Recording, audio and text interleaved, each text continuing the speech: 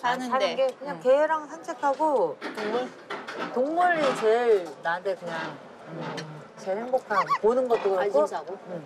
방송도 뭐 개 나오면 보고 점점 뭐 관심이 이렇게 내 가족이랑 이 boundary 좁혀지는 것 같아. 그냥 남편, 뭐 내 개 뭐 이렇게 넓은 관심이 많이 안 생겨.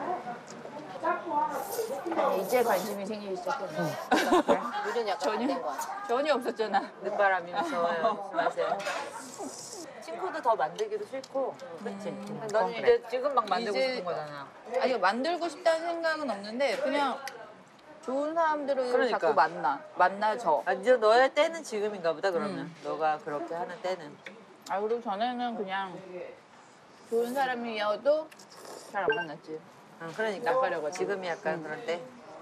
지금 낯가려 나는. 다 늙어서. 기사 안에 가서 하고 와야 되나? 카드 줘 내가 하고 올게. 잘 먹었습니다. 고맙습니다. 잘 먹었습니다.